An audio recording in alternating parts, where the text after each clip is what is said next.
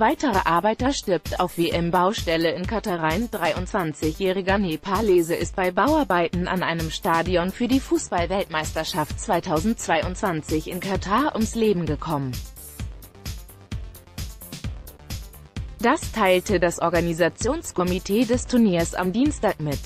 Der Unfall, zu dem keine Details bekannt gegeben wurden, habe sich am Al-Wakra-Stadion ereignet, eine Untersuchung sei bereits in die Wege geleitet worden.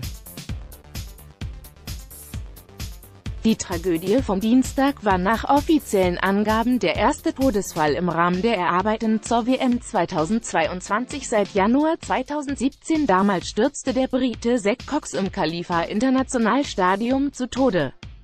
Eine anschließende gerichtliche Untersuchung eines britischen Gerichtsmediziners beschuldigte die Baufirma, dem 40-Jährigen eine minderwertige Ausrüstung zur Verfügung gestellt zu haben und kam zu dem Schluss, das Arbeitsumfeld auf den WM-Baustellen sei geradezu gefährlich. Die Arbeitsbedingungen im Land des WM-Gastgebers von 2022-21